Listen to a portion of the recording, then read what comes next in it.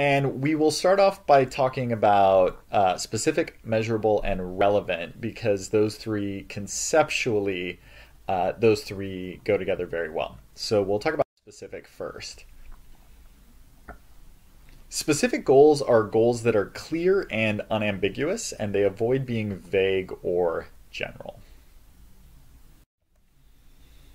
The way I think about specific or specificity in regard to goals is like I used to watch Columbo a lot when I was a kid, and uh, Columbo was about this like old timey detective, and he would always ask people, you know, who, what, where, why. He would, whenever he was talking to someone about their version of, of you know, this crime that had happened that he wanted to solve, uh, he would really drill down into their responses um, to, to get the important information. And we want to treat our goals the same way. When you come up with a goal, you want to interrogate it. You want to make sure that you have all of this technical information embedded within that goal.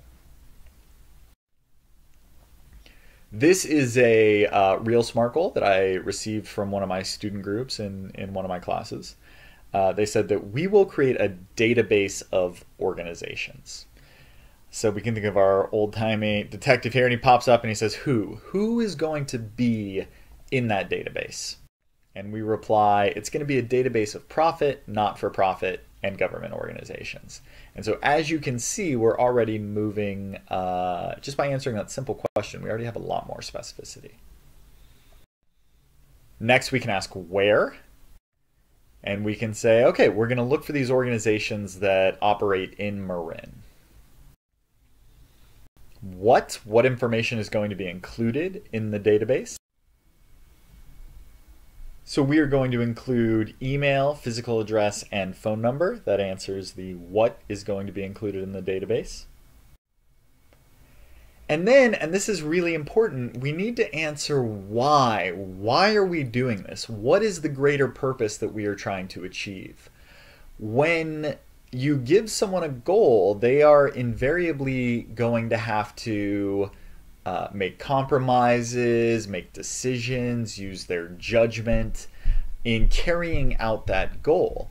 And it makes it a lot easier for them to do that if they understand overall what they are trying to achieve. What is the purpose of all of this? So by explaining why you're trying to accomplish a goal, uh, you're helping people make the right decisions to get the goal accomplished in the way you want it accomplished.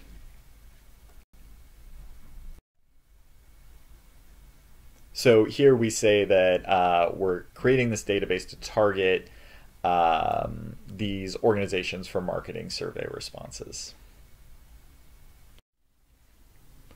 So now you can see our goal that we have made more specific. We say that we will create a database of profit, not-for-profit, and government organizations in Marin that includes email, physical address, and phone number to targeting for marketing survey response. And we can compare this to our original goal, which was we will create a database of organizations. And you can just clearly see uh, the difference in specificity.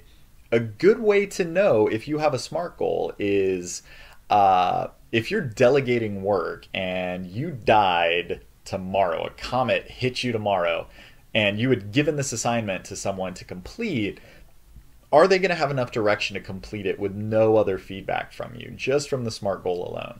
Or another way to think about it is if I gave this assignment to 20 different people, uh, would I get a similar response, a similar final product from each of them?